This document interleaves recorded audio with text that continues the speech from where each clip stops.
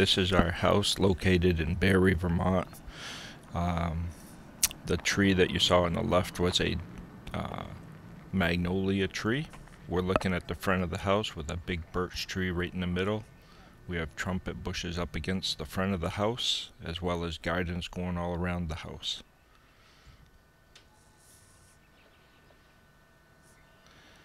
Coming into the picture is the electrical boxes that are throughout the neighborhood and we've planted bushes that will cover the bulk of those electrical boxes. Once those bushes flower up on the base of them you saw some tulips and there's uh, lilies planted there that will come up and hide most of it.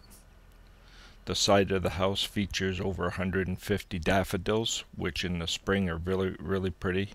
In the summer when we cut those back we will have hostas coming up in there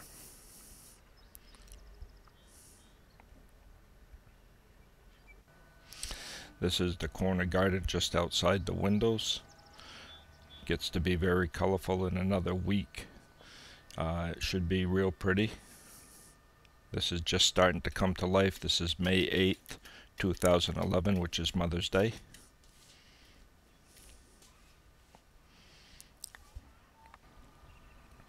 These are again are the flowers down near the electrical box, the early spring flowers, which are tulips. You can see the greenery on the far left where the daylilies are going to start coming up. They will just fill that area and there's also forget-me-nots in there.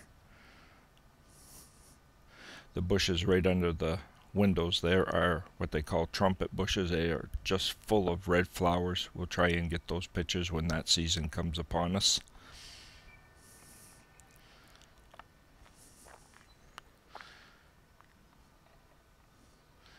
Everything's starting to come to life. It's really beautiful now.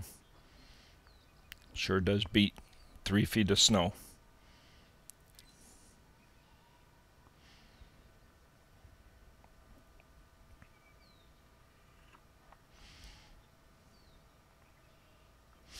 That tree along the side of the house was a big lilac tree with white flowers on it when they come out. This is the backyard. Our fence divides our properties between the neighbors. Up in the back you see flowers coming down. Then we have another fence for storage of items. This is not a covered fence. This is just a uh, three-sided fence. The yellow bushes that you see in the background are forsythias.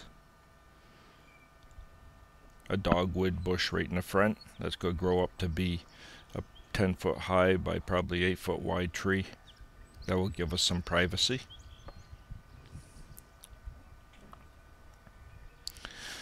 The yards get a lot of natural springs in it, as the whole neighborhood does, and there's a lot of moss that you can see right on the ground there on that side hill.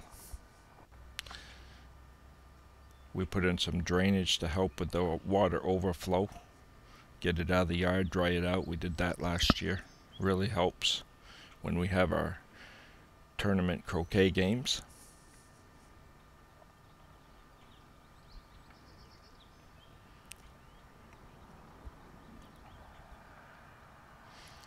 Some more little daffodils.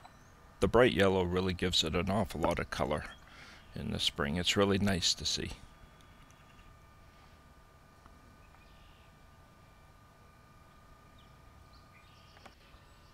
This is just outside our back patio door. Little gardens that Elle has planted. Again, in the far end of it, we have another lilac tree, and down here is pictured the the flowers that are growing up in there.